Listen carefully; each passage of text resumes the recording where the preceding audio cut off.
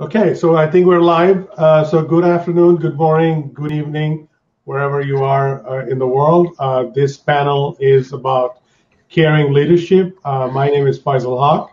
Uh, I'm the founder.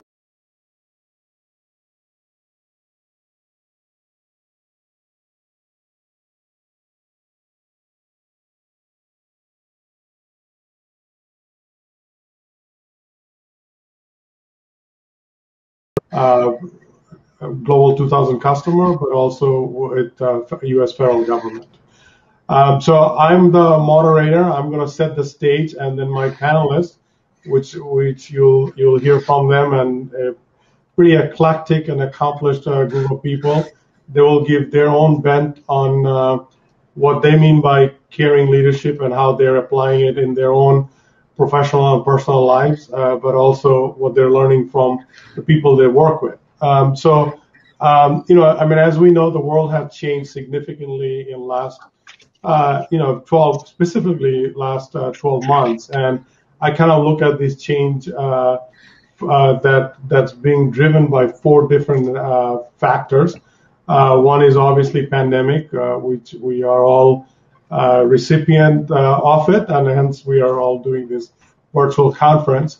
but there's also other factors, like there's a massive uh, climate uh, shift that's going on globally. There's a technology shift that's going on uh, globally, and there's also uh, lots of misinformation that's going on globally. So all of those is a perfect uh, storm uh, for change and change from the context of personal, professional, organizational, governmental point of view. So there, we have a very interesting group of panelists that kind of represent all of this sector, uh, and we all have personal or professional uh, experience to talk about. So in my uh, case, you know, I mean, the way I look at uh, caring leadership is that, um, you know, it, caring leadership comes from empathy. Uh, caring leadership comes from um, understanding the change that are happening outside, but also change that is happening internally among each one of us. And uh, that kind of um, uh, gives us an opportunity to be transformational because transformational leadership, uh, by definition, is uh, somebody who is uh, inspire and influence and establish uh, systemic enablement that allows personal growth, but also organizational growth, and at the end, um, um, you know, community and, and global growth. So we will talk about all that, uh, you know, in the panel. And the, the, way we are kind of going about this panel is that each panelist will have about five minutes uh, to talk about their own stories uh, and their own experiences, and then we'll come back and have a uh, Q&A session. So, um, so that's how we'll do it. And in my case, I have noticed this as an entrepreneur, uh, my own challenge to grow my businesses, but I've also noticed this uh, this kind of shift and, and leadership changes among the government leaders that I work with at the highest level of our U.S. government. But I've also looked at, I've noticed these changes that's going on uh, in my own home, where my spouse is a working professional, works actually for a reinsurance organization and works for uh, in their HR uh, organization. So she's noticing those changes. Um, my son is a uh, uh, freshman, so he he started his schooling in a very odd time or an interesting time. So he's we tried both online and offline schooling, so we're experiencing those changes as you can imagine. And uh, in my case, you know, because my work is both private sector and and public sector, um, you know, it's been kind of interesting to notice the um, you know the the differences uh, because uh, when I work with my government uh, leaders, that that environment is very secure and uh, we're all working from home, so it creates a different kind of uh, challenges. So I, will I'll come back to all this at the end after all the panelists has a chance to say their own stories and share their own personal uh, experiences to kind of wrap it up and have a Q&A session. So I'm going to pass it, pass the mic to to uh, Alexis, uh, and maybe Alexis, you can introduce yourself and uh, take us to the next level. Thank you. Hi, everyone. I'm Alexis Vrotsos. I have the pleasure of serving as Chief People Officer for Olumo. Olumo is a human analytics technology firm, and we're focused on elevating the humanistic qualities experienced um, by everyone in daily life, whether that be at work or in your community. Um, you know 2020 was like a, a, monumentous year. It delivered compounding global crisis. You know for the first time in history we all experienced this together collectively um, as one. It impacted us all in in real time. And no one has been left left unscathed by this pandemic or the social injustices that we've seen and experienced or the economic downturn that um, you know we're all still experiencing uh, no one is is left, you know, without being touched by this. And the challenges of the last 12 months have really forced us to to adjust and adapt more quickly than ever before. You know, we've seen that that um, nearly half of all employees, their work environment has has changed dramatically. You know, through the last 12 month period. Um, and within any crisis though there's always a hidden opportunity and i really try to focus on that within my own personal leadership um, to to find that silver lining in that light and now that we've finally been able to catch our breaths a bit at this moment in time uh, within the last 12 months um, and thinking back and, and what we've all experienced we've all um, had had been forced to in, increase our resiliency. And and we've also had to practice patience like never before as we still are because we we don't know um, we don't know what our new normal is going to be yet. Um, and with that we also have to practice patience with others um, we are also prioritizing relationships. Um, you know, we see that within our families, we see that within our community, and we see that within our organizations in which we work for um, you know, we've really come together like like never before, um, and that really is established through this like continuous communication that that is provided for us through platforms, um, you know, via the internet and technology. But never before in history has everything been this accessible. Never have we would have had a, a meeting as such across different continents and time zones. Um, so there there is some there is some benefit to it to this experience that we've gone through you know and empirical research shows that um, caring is a basic human propensity uh, we are we are all um, programmed to care even though in in daily life i think we tend to to lose focus of that um, and through that in that caring leadership um, you know the authoritarian leadership is no longer a tolerable approach and we must begin to see people as humans instead of as profit centers or cost centers. And through this collective hardship that we've all experienced in 2020, I think we're seeing this positive shift. Um, we are experiencing an increase um, of the adoption of like the servant leadership style, where leaders are beginning to put the needs of their people um, firsthand and helping them develop and perform as highly as possible um, as opposed to uh, just asking for for more and more. You're understanding the needs um, of those within your organizations, and the only way that that is accomplished is through communication and an open dialogue in which um, you know people can share freely without you know fear of retaliation and bullying or um, or fear for for their jobs, their lives, their family, their livelihood. So we are seeing, I think, a shift in that. Um, you know, and the leaders that are cultivating a positive culture are are seeing an increase in engagement and productivity.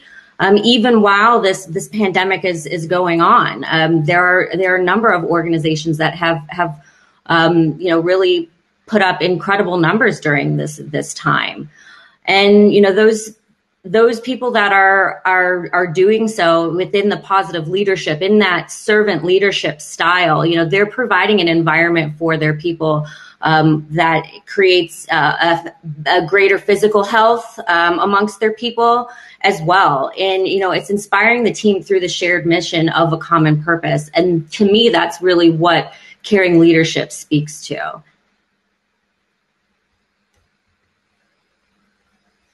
So I wanted to go ahead and then pass it over to Jette and and have her give her experience and her background on that. Thank you very much. And uh, thank you very much for setting the scene also to Faisal. Um, I'm excited to participate in this panel because this is really, uh, it lies very close to my heart, all this caring leadership, uh, uh, uh, uh I would say different themes, different topics on that. I'm a Dane. I'm not a Dame, but I'm a Dane. Uh, and I think as uh, the only one here, uh, I'm not based in the US, but I am based in Denmark. I have a background in business. Um, I had held various uh, positions in uh, large corporates, in uh, SMEs, and in startups. And uh, I am also in my work very inspired uh, by the Danish existentialist uh, Søren Kierkegaard, even though I am actually a master in business administration. So I'm trying to build bridges between these two things. And my passion is the future. And the, the, the way that I see that is that we have to build bridges to a better future, to a better business in the future. And I do that by working within leadership and strategy. I'm a strategic advisor. I do some board work and I do also work as an uh, external associate professor at the University of Southern Denmark, doing change management and doing business development. And for 15, over more than 15 years, I've been running my own companies, working with uh, businesses, leaders, managers, uh, and also uh, employees. And I would like to build on what was uh, has already been said by Faisal and Alexis. Uh, actually build on the, the mega trends and I would like to outline a couple of key points that I have in what I called hardcore leadership. And heart is spelled like heart because my heart is actually very close to this. The first one, uh, the first point is actually vision and purpose. Um, I think nothing happens without a purpose. Nothing happens without it makes sense to people. I see that when I teach. I mean, there's no student, no student at all, just doing anything because I say so or to please me. Not a chance. Uh, they they need a purpose for themselves. Uh, they need a perspective uh, for each individual. And I do also see it in my daily work, in my own leadership, and also in the work I do with leaders and managers. Sometimes they ask in, more in despair, but also with a twinkle. Why don't they just do what I tell them to? And we can have a, a good discussion about that. And uh, often it is a question of uh, failing purpose or no sense. And this is also communication and dialogue, as Alexis also said. It, it is it is a problem that we are not good enough at going into these dialogues. And this tends actually to be, uh, uh, I would say, more important towards the younger generations, uh, which is not very well. That's not that's not rocket science because when you're younger, you need a, a better, a more frame setting uh, environment. And then we haven't even talked about nationalities, gender, race, religion, whatever dif- the differences we might have. And I would say in an, in smaller countries like Denmark, which are open economies, it, it is very important that we go into this discussion. The other point I would like to make is what I call from top down, top down to up and down and around. This means that I think many of us have been working with managers and been trained with managers uh, we actually wanted control over everything and everybody. And I have to confess, I was such a manager years ago. And I think that many of you know that that's the case. But the classical top down manager needs or knows everything and just keeps on running to reach or to achieve own KPIs, scared of doing failures not wanting to cooperate or collaborate with others. No, that that's that's not that's not the future manager. But anyhow, I think when we when we look into what you have also been saying, that it's a complex, it's an uncertain, it's a highly globalized, globalized world. We we have to cooperate. We we no no individual can cope alone. We need what I call combined skills and intelligence. And the impl- implication of that more collaborative and shaping leadership style is that we have to work together. We need to learn together. We need to reflect together and we need to do failures together because the, the failure is necessary to grow. The failure is necessary to learn. So this is what I call up and down and around because that needs, that's a balanced leadership so there's no leader actually uh, being able to lead in the old way where I know everything type. That's that's really not a, a, a, a, a way to do it in, in the future. Also because that type of leader is afraid of doing the failure. There's no vulnerability in that leader type. So it, it, I would say actually this comes rather natural to us in Denmark. It, it's not very, uh, it's not very far away from our culture. We have low, low power distance here. We are, we ask questions, a lot of questions. We challenge our leaders. We've been doing that for years. We have a well, well developed security system in society, etc. But that does not mean that it comes easy to us. It does not it is also very, very hard for us to work on that agenda. So that is actually the hardcore leadership because we need mind, we need body, we need soul. Uh, we need all three things, which is actually uh, the empathy that Faisal was was raising as as an, uh, a theme, and is also the relationship thing that that Alexis mentioned. So we have to put ourselves in the game on stake at risk.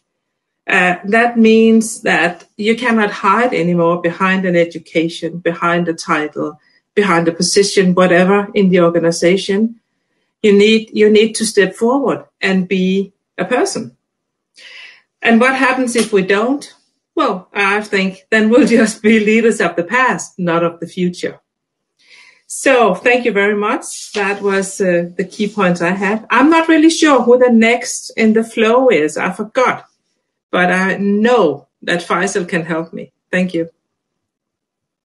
Uh, it's actually Andrew. So Andrew is the next in line. So Andrew, uh, all yours.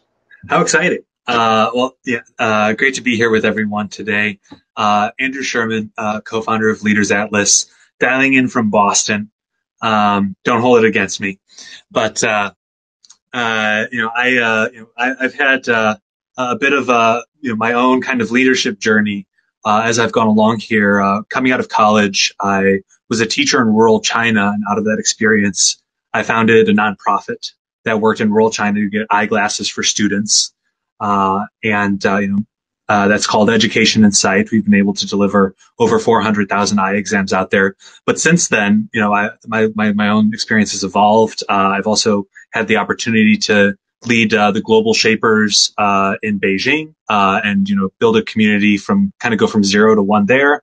Uh, and now these days, I'm in the for-profit world as the co-founder of Leaders Atlas. And what we do is help leaders understand the talents, the superpowers of their people uh, and give them a platform for for getting those skills, that experience shared across their teams, across their company. Uh, and uh, you know, a, a, lot of what everyone's saying around around carrying leadership uh, is is resonating a, a ton here uh, with with my own experience and you know the experience we have working with leaders. You know, I'd had the opportunity to see NGO leadership, for-profit leadership, now even government leadership with some of the work we're doing. Uh, and I think, you know, one of the things that, that stands out to me, and one of the, the ways I like to kind of frame up leadership challenges is, is in terms of generations. Uh, and, you know, I don't know if anybody's kind of familiar with, uh, generations theory. There's a lot of different ways they put it, three generations theory. Uh, but, you know, the idea is that, uh, you know, there's, there's a founding generation, uh, you know, where, where, the, the, the vision for something coalesces uh, and launches. Then the second generation is all about scaling that up, really optimizing it, make decisions to escalate it. And then the third generation is, you know, by, by the time the third generation comes around, uh, you know, many of the founding people are no longer a part of the conversation. They've kind of lost that, uh, yet uh, to, to your, you know, to your point, they've lost that vision. They've lost that purpose, that drive, uh, and they need to define a new one. And, you know, it's a third generation where sometimes you see crises break out because there's nothing bringing people together anymore. Or sometimes you're able to successfully navigate tra- that transition uh, and coalesce around a new identity and go through that. And I feel like, you know, what I'm seeing in the United States or even, you know, companies, you know, are you know, blue chip, the Microsofts or the McKinseys or the HPs is this, this really, really consequential third generation transition taking place. And it's a, it's, it's a tough spot for a leader to be in, uh, because you have to, you know, not just know where you are today, but you have to know where everything's going and you have to navigate that really successfully. And I think that a huge part of the conversation, you know, especially around this, uh, is you know, how good of a leader can you be? How caring of a leader can you be to navigate that transition? Um, second generation, it's all about optimizing. I, I, I think uh, maybe it was Alexis or Jette who said it. It's that kind of authoritarian leadership where it's like we're here to grow, we're here to cut costs, we're here to escalate profits. That's it. Third generation, not about that anymore. Uh, we have to respect our people. We have to talk to our people and understand what you know what our vision is going to be for the future so we can all get there together uh, and i think that covid has really escalated this conversation for a lot of people people were very comfortable just doing that second generation thing and they can't do that anymore uh, now they have to you know provide psychological safety for their people they have to uh, you know they have to help navigate not just work challenges but life challenges and they have to be there for the people around them and the leaders who are doing that right now are getting a lot of great recognition. And the leaders who are not doing that uh, are falling out of their institutions. So I think it's really more important now than ever that, you know, this idea of caring leadership emerges and people ask themselves, are they that caring leader? Are they adopting that? And are they, you know, are they, are they doing right by their people? And the, the leaders who do that, uh, are going to get recognized for it. You know, it's, it's more apparent the, the information is out there for people to know.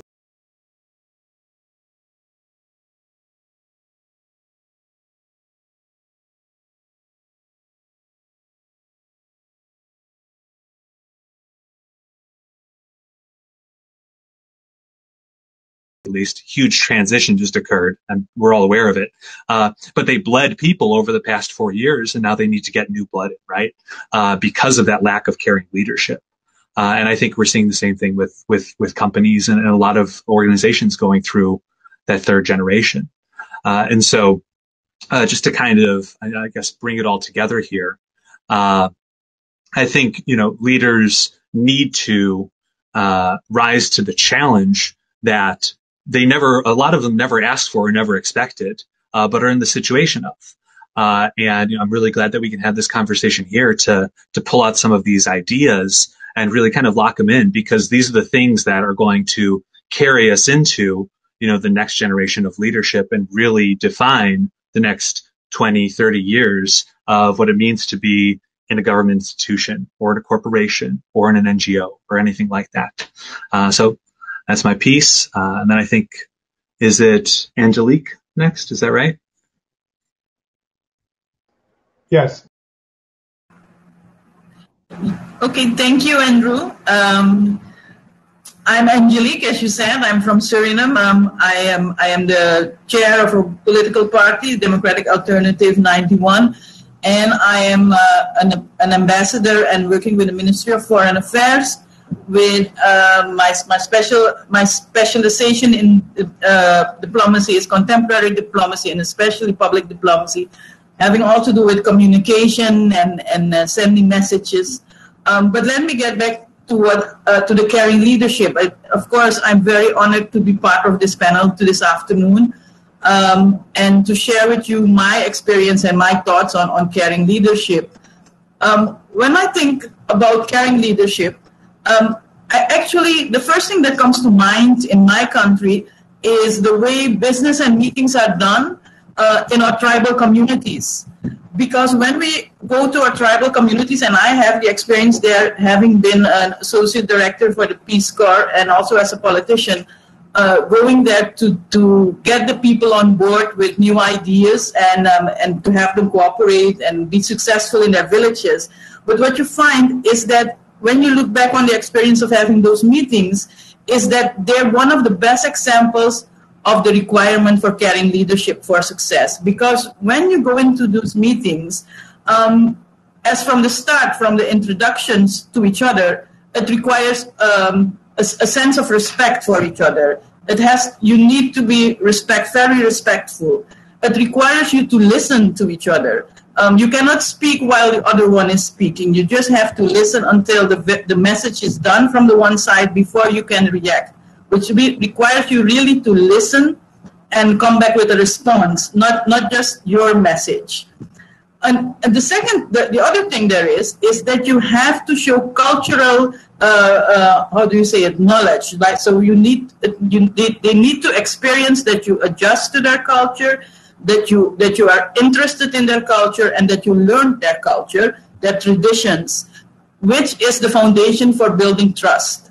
But that's not all, because at the end of it all, you need to eat together you need to sit with them and have a meal together, sometimes even from one plate.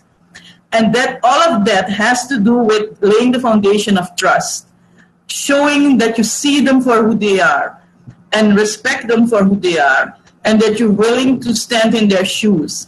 And as I was thinking back of to, to that, preparing for this for this for this meeting this afternoon, I thought to myself, how funny that we never def- defined it as caring leadership we just accepted it as part of the way we do business. But now, in the post uh, COVID era, now that we feel, we all sense as leaders that we have to change, that things cannot go back the way they were, um, all the challenges we, we have to get across, suddenly we realize that all this, all the while, that our tribal communities already practiced caring leadership. Actually, they had it as a base, as a foundation for all for the all over leadership of their communities. Because it's also in, in those communities um, solidarity is a very important uh, issue. You cannot accomplish anything without solidarity without voluntarism voluntarism so it was for me very uh, for me myself living in my own country an eye-opener preparing for this panel and realizing that this that the best example of caring leadership was in my own country already and that I had gone through it many, many times.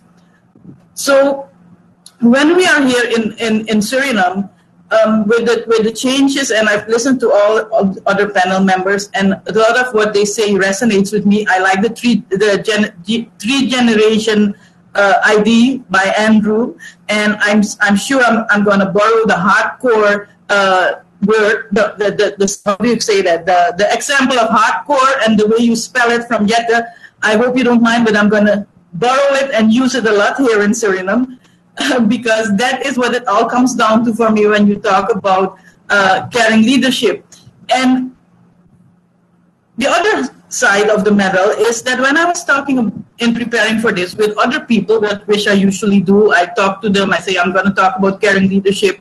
Um, what what comes to mind when you hear that? Um, I found that a lot of people in, in Suriname First, they thought of women. When they heard caring leadership, the first thing that comes to mind is women and mothers because they're always listening and trying to find solutions for everybody.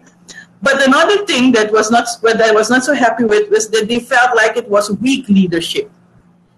The idea of caring seems to make them think it's weak, which for me I translated as being uh, as actually telling me um, the sense of uh, how do you say it, democratic experience they have, we have in our countries. We are still used to leaders telling us what to do and not leaders who are sitting down and listening to us. So we feel as if when a leader sits down and is willing to listen to us, that they don't know what to do. So that's why they're listening. So they must be weak.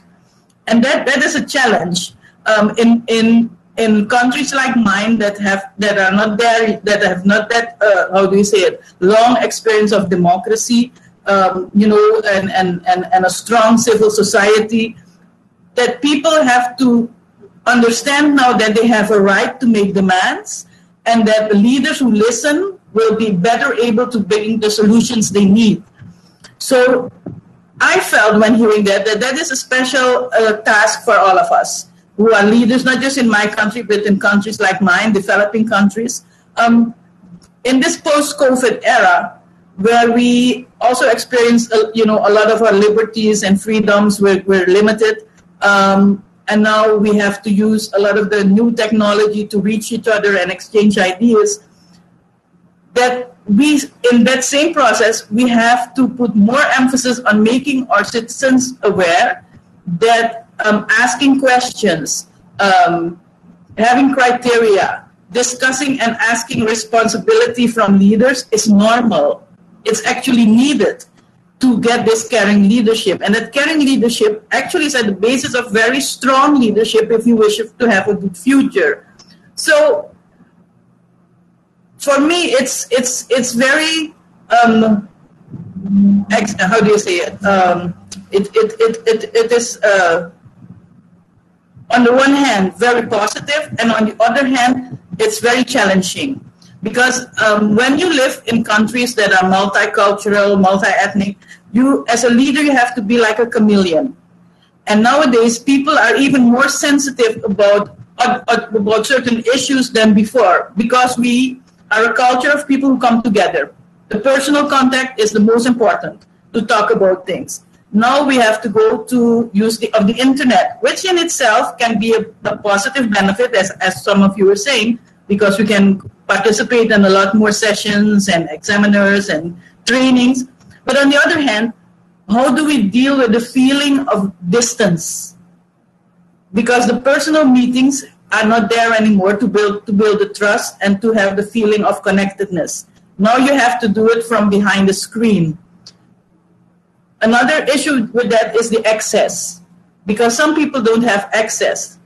It, it's too expensive for them to have access or, or the, the connection is bad, as I've seen even today during the other meetings of Horasis, that some speakers just they disappear and they come back and they disappear. So that, that that's how it works.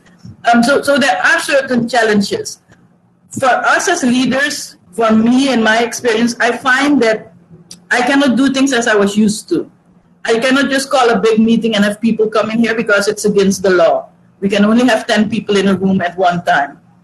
So I need to go out more to talk to people. I need to, to be able more to, to stand in other people's shoes, to speak the language that touches their heart without them seeing me or, or touching me personally. Because that, that, that, you know, that, that is the, the thing they miss, the, the disconnect they have. They see you from behind the screen or on the TV or hear you on the radio. So, and at the same time, all of the people here, we have so many different ethnic groups, they all want to be recognized for their uniqueness. At the same time, we need to bring them to the interconnectedness that we need to move forward. Um, our president spoke earlier today at, Horace, at the Horasis meeting also, and he also he, he, he, noted the challenges we have um, to go through not only the post-COVID era, but also the, the huge financial economic problem we, we face at this moment.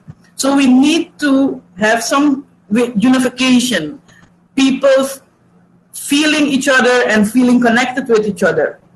But due to COVID, we have been presented with even more challenges in connecting and uniting the people. So it requires, let me just summarize it in as such, that we need to have success in nation building at this time. We need to have people feel that they're seen and recognized for who they personally are. So we need inspirational leadership, and you cannot have that without the caring leadership. It is a special task for all of us. We have to move beyond our own boundaries, you know, whether it's physical, whether it's ethnically, culturally. We have to move beyond those boundaries. We have to show more solidarity and be willing to listen to those who not necessarily see things the same way as we do. And the only way we can do that is by how do you say that? Um, lead by example. That is what we need to do. They need to hear and see us listen. They need to see that what they tell us is being used in policies and in the way we present ideas. Because if we only listen and don't do anything with the ideas they share with us, they feel like they weren't listened to at all. It was a waste of their time. Since they, they, they are not very strong, uh, how do you say that? In experience in democracy because we're a very young democracy. We also need to make them aware that they have the right to speak, how to speak, and what the tools are that are available. So challenge. Angelic, is it okay if we is it okay if we pass it to Grant? I know we're we're just a little pressed for time. Yes, yes, yes. I'm going to pass it to Greg. I'm just finishing, so I pass it to Greg. Thank you, Angelic. Uh, great to be on this panel. Uh, good to see everyone. And a special thanks to Frank for putting such an amazing event together. Uh, I'm Grant Schreiber, the founding editor of Real Leaders magazine, um, which has been going for around 12 years now. We focus on sustainable leadership and ethical biz- uh, business. And we're trying to promote actionable ideas for uh, companies and leaders around the world by showing them um, the actions of like-minded leaders um, that are moving the world forward. So I'd like to just pick up on something Angelic said earlier. Obviously, there's a lot of bad with social media in the world right now, but I also think it's uh, in terms of leadership, it's given a, a a more personal approach to leadership. It's given insights into people's minds, and we have transparency now like never before. Um, if you're a bad leader, there are not many places to hide anymore. Um, you know, WikiLeaks started the whole idea of, of revealing things many, many years ago. I think social media has picked up on that trend. And you now have millions of people around the world with opinions and, you know, asking uh, probing questions and revealing things. Um, and so along with the pandemic of the last year, you've seen a lot of social issues come pouring out as well. And I think that's good for leadership. I think it holds people accountable. Um, it reveals things that, that, have traditionally been hidden that, have, that might have been bad. And um, you have to be a good leader today because there are just too many people watching. I think the pandemic, in many ways, has also created a warlike mentality, which only comes around every couple of generations on a global level. And it's created this idea that we're all in things in this together. People are feeling part of a common cause, and people are realizing more increasingly that we actually all need each other in some way. When you see people across the world experiencing the, exactly the same symptoms and stresses and um, and problems as you, regardless of which country you're in, I think it pulls people together. And I think leaders who take advantage of that sentiment um, will will be the winners of the future. Um, I've also heard a lot of people say that this past crisis of the last year is good training for the next one. And I think we can always be certain that there will always be another crisis coming up. It's just the nature of humanity. But I think the good news is that if we see crisis as an opportunity, then this is where future leaders will define themselves, looking for those opportunities in a crisis. Um, I'm also aware that leadership lessons that we've learned from the past year may only surface in the next generation. Um, I'm speaking about our children here it's it must have seemed like a very confusing time for them uh, to to not be at school and to look at their parents and wonder what's going on when they were mostly in a in a rigid uh, environment with with a regular routine. And I think we'll probably only see the results of this in the next generation or in the next couple of years.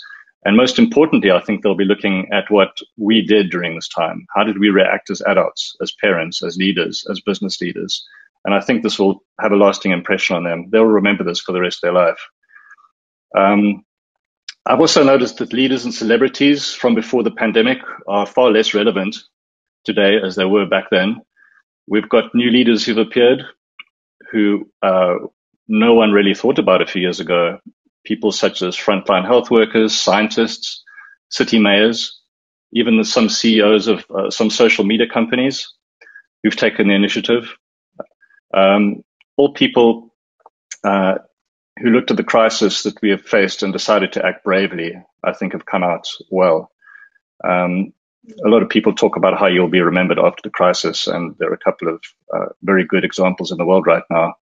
Um, when it comes to being a caring leader, I think empathy is a, has got a large part to play.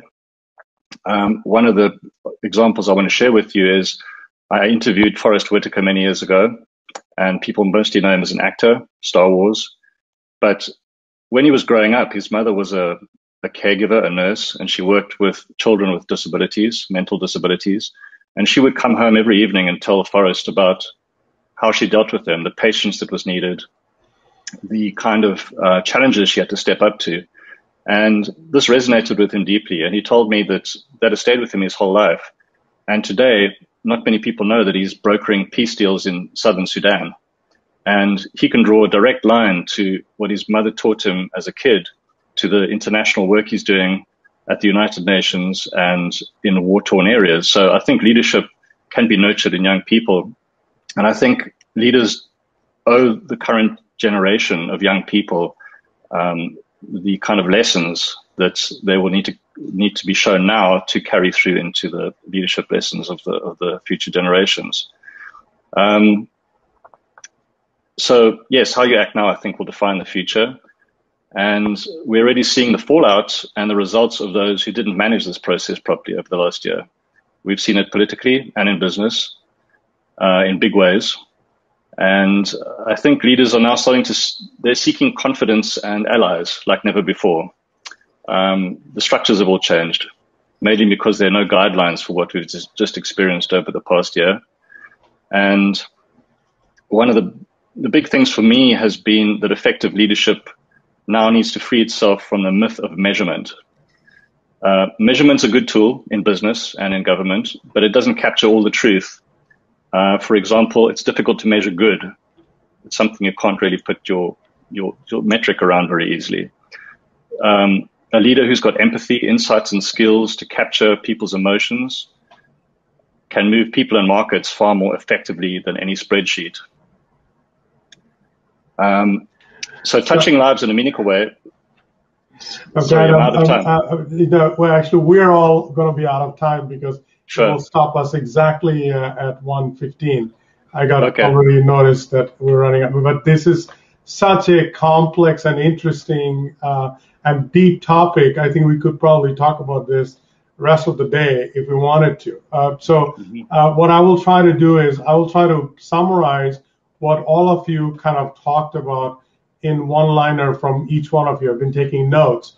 Uh, so I'll start with, um, you know, um, uh, right after me, what Alexis said that uh, the um, the importance of resiliency and personal relationship uh, is is at a at a uh, cornerstone at a cornerstone is at the cornerstone of uh, this kind of caring leadership because it you know it, the caring leadership as you said, Grant, uh, leadership as it stands today begins with the fact that it starts with personal leadership, how we lead ourselves, uh, you know, transmits to our children, and then it goes on and on. Um, you know, um, uh, we talk about uh, the notion of uh, leading with heart and applying uh, the fact that it, it's heart, it is with heart that you win others because nobody succeeds in silo. You know, we, we have to succeed as a community. Uh, we talked about, um, um, you know, uh, Andrew talked about the notion of the next generation, uh, third generation leaders needs to take the baton and redefine the purpose. And we are at a stage where we are in the process of redefining ourselves as a globe, as a person, as a company, as a as a as a political organization, whatever uh, the case may be. And lastly, uh, uh, Angelic talked a lot about community community build up and the fact that we we um, uh, we have to do that with respect and understanding other people's culture and you know the building bonds with trust. You know, having a meal together builds a bond. You know, and I mean, you see that the families who eats together, you know, has much better relationship than families who kind of goes in their own corner and don't eat together. You know, it's something I know very well. You know, it came from my parents, and I try to hold on to that, you know, every possible way Again. I do that with my family. I do that with uh, my uh, employees and the people I work with. So all the things we talked about, you know, it applies at an individual level. It applies at an organizational level. It applies at a community level. It applies at a governmental level. And obviously, transparency uh, you know, um, uh, uh, you know, transparency is is is is key to all this. And you're absolutely right. Technology has allowed us to uh, kind of you know break that that uh, glass wall that, or you know, maybe not glass wall, but the wall that we used to able to hide uh, with a lot of different things.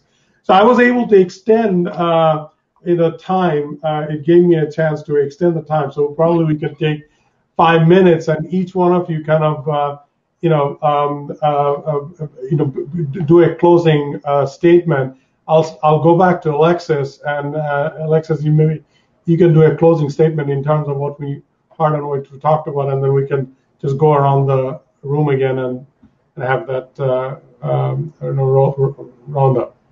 So, Alexa.